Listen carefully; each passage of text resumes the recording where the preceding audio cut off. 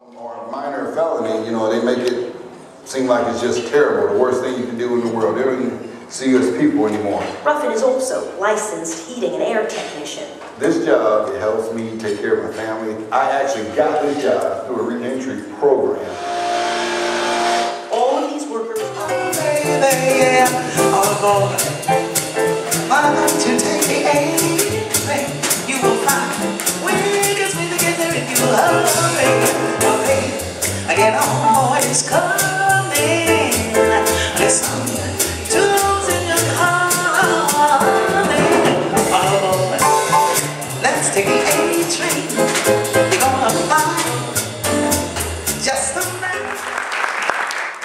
Tonight's program really celebrates so much.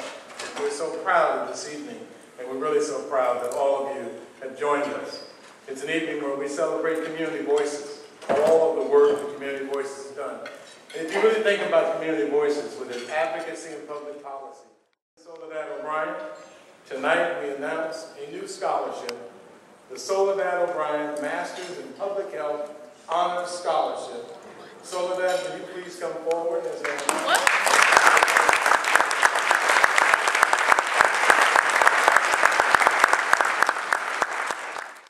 O oh GPA.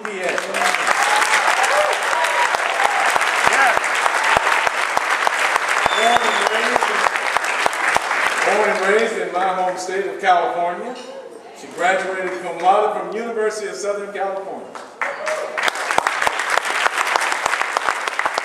Is the president of the newly formed Correctional Medicine Interest Group at Morehouse School of Medicine and is working closely with Dr. Henrie Treadwell to raise awareness about and interest in correctional medicine across all of the health disciplines. Cindy, we are so, so proud of you. As our first Soledad O'Brien Honor Scholar. Congratulations.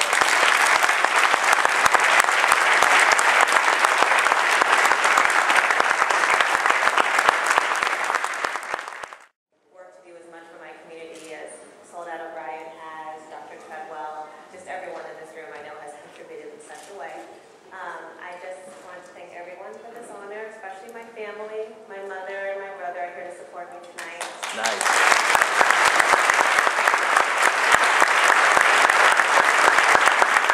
And without them and my entire extended family and my Morehouse School of Medicine family, I definitely would not be here tonight. So thank you. Nice. Congratulations and thank everyone. It is so great to be able to welcome you, to say hi to old friends, or maybe I should say long-time friend, long-time friends. I'll stick to that, and uh, and new friends as well.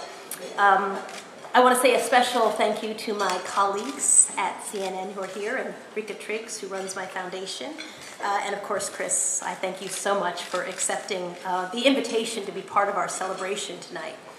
Uh, this week, of course, we are remembering Steve Jobs, who I think has had a tremendous impact on the entire world with his work. But there's a couple other people who have died as well, whose deaths could go unnoticed uh, if we let them, but we won't. Reverend Shuttlesworth, of course, and uh, Derrick Bell of the Harvard Law School also died this week. And I think the two of them have in common that they both understood that they had to be uh, the voice for change, and that they also had to be the voice for people who often didn't have a chance to have their voices heard. And I think in some ways that's what I have tried to do in a tiny way in my work.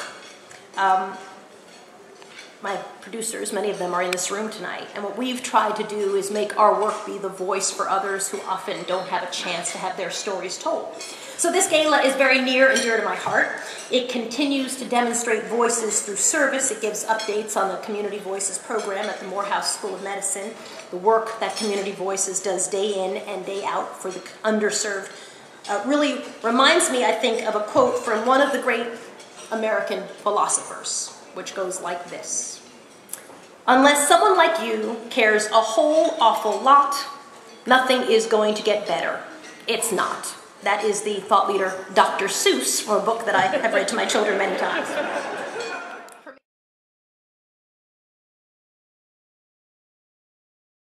Entrepreneur, devoted father, and philanthropist, Chris Ludacris Bridges has proven himself a dynamic, multi-talented entertainer and businessman silver screen, he clearly embodies his foundation's principles of success. He uses his celebrity and influence to affect millions of lives. I lives. know I have a voice, and I know I affect a lot of people. At the heart of Ludacris Values is his commitment to give back. Atlanta-based and impacting globally, Ludacris's vision is to help youth live their dreams.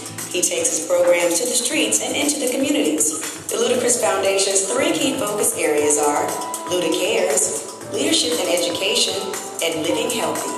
Luda Cares. Hunger is a national problem, but one that can be addressed locally. For the past 10 years, the Ludacris Foundation has fed families in Atlanta, Georgia at Thanksgiving. There are many opportunities during the year where the Ludacris Foundation reaches out, whether it's during the holidays, a special hospital visit, or responding to a national disaster. They let it be known the underserved are not forgotten. Leadership and education.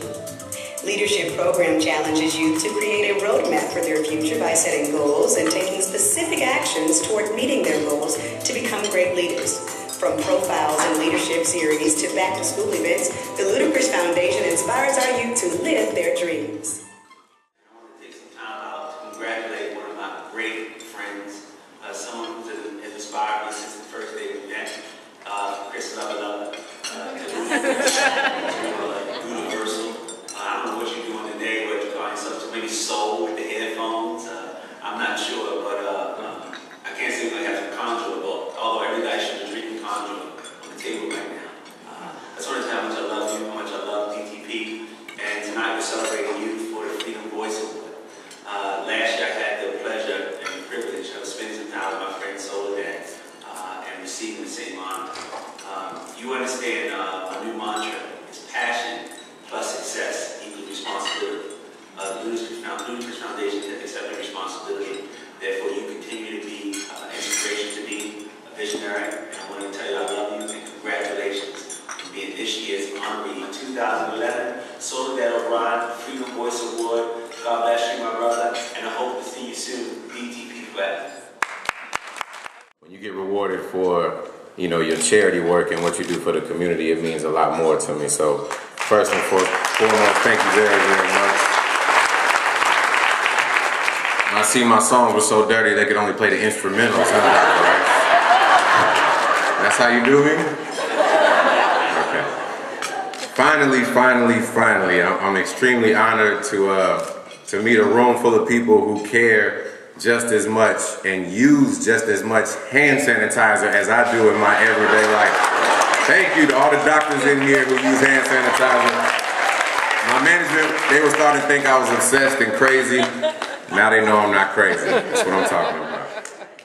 This evening, I'm gonna keep it brief and just and say what's on my heart and what's on my mind. I definitely want to thank all of the students in here and definitely all of the the the, the board for giving me this award, and I, I greatly appreciate it and want you to understand that I'm probably just as inspired and motivated uh, by you as you are motivated and inspired by me.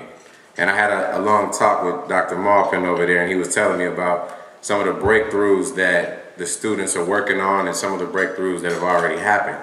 And I'm just, I'm amazed at some of the things that I heard. I don't even know if I can talk about some of them are top secret, but I just kept, I kept thinking to myself, maybe, maybe I can um, somehow invest in some of this stuff so I can quit rapping and quit music, and I can just become a millionaire for the rest of my life, and I'll be good. Thank you, Soledad O'Brien. You, you made me feel like family ever since the first time I met you. And I think that any anybody who gets a chance to meet Soledad, you get that impression. You just automatically feel like, you know, we've known you for years. So thank you, thank you for that. A very special recognition and definitely all the Morehouse School of Medicine Board of Directors. I want to thank you. I'd also like to recognize and thank Sally Davis and Kim Washington for working with my publicist Barry to make this evening happen. So y'all make some noise for them because I wouldn't be up here. Um, I also want to thank those people in the audience for being so supportive of Soledad's efforts to get the word out regarding those that are disenfranchised and locked out of the American dream. Soledad, you are a true champion of truth and dedication to providing a voice to the voiceless. And thank you for being you. and I strive every single day to, to be my best. And I know that uh, Soledad was asking me earlier, you know, how I got my team together. Well, for those that don't know, I know Kevin just said Chris Lova Lova up there. We, you all know that I came from the radio station here in Atlanta, Georgia. But I was really young. I was like 17, 18 years old when I started working there.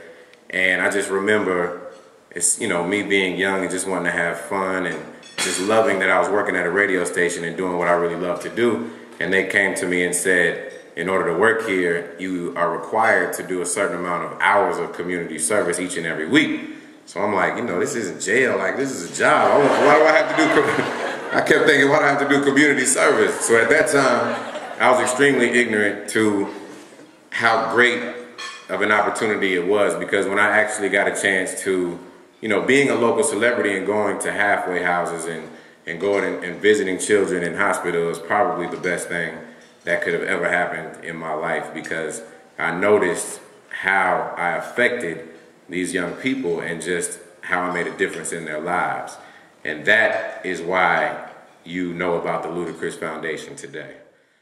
The Ludacris Foundation was formally established in December of 2001, right after I left the radio station, to make a difference in the lives of youth, families, and communities throughout the United States.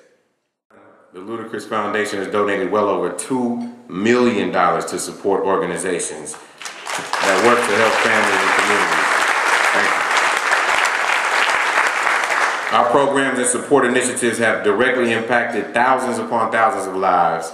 And what I'm more proud of is the fact that, like I said earlier, we have over 10,000 hours of invested hands-on service. So I take pride in the fact that I'm there doing these things and not just cutting checks and let everybody else do the work. I definitely want to thank my mother, who is the president of my foundation, and it wouldn't run the way it runs without her. Kim Hutchins, Candace Dickens, of course, Barry Florence, and of course, when I say my mom, people always ask me why I'm so grounded. It's, it's probably because I'm a 34 year old man and my mom will still try and take out a belt and whoop my ass. so thank you to my mother. Thank you, Soledad and the Morehouse School of Medicine. Greatly appreciate this honor. Tell me how you feel tonight about Soledad O'Brien's Freedom's Voice Oh Awards. my gosh, I'm so excited. And every year it's such a tremendous opportunity to hand an award to someone who is doing great work. We pick a person who's not only making a big impact in their community, but also who is mid-career, which I guess is another way of saying middle-aged, uh, but really the sense that you have a long way to go still. You're in the middle of your career and a lot more to do, a lot Yes. more to make happen, and so giving an award now I think can draw a lot of attention to some of the great work that our honoree this year, uh, Chris, Ludacris, Chris is, uh, is doing. It's amazing. Thank you very much. My pleasure.